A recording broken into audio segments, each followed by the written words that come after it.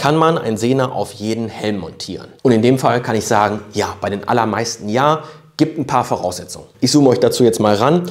Wir haben hier einen Sehner an der Seite und ihr seht schon, hier links muss relativ viel freie Fläche sein. Teilweise hat man hier auch nochmal den Schieber für die Sonnenblende. Das kann man in der Regel dadurch ausgleichen, dass man das Ganze ein bisschen weiter nach hinten setzt.